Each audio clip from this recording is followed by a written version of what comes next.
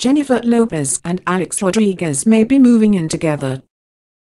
JLo and A-Rod are making it happen as the celebrity duo are currently about to make the next step in their relationship. According to a report from Us Weekly, JLo and her man are planning to share their home. A source said to the organization, Jennifer's place in D is on the market, and the insider added, Jen and Alex are looking to get a place in the Big Apple. I think they're looking to purchase one. Additionally, the source claimed that JLo and Alex have big plans including more than just moving in with each other. The source added, they're looking at businesses they can invest in. In an interview with Us Weekly back in September, A-Rod gushed about his relationship with JLo. He stated during the discussion that his 19-year-old and 12-year-old daughters respect Lopez a lot, in fact, they look up to her.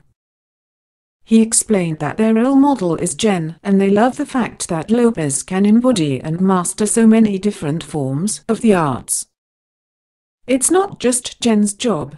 It's her career and her passion. Alex added, both Natasha and Ella love to sing.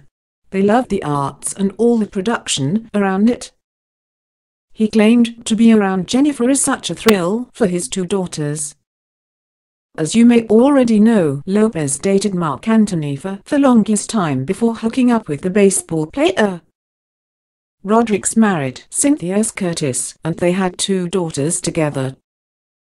However, they split up due to irreconcilable differences.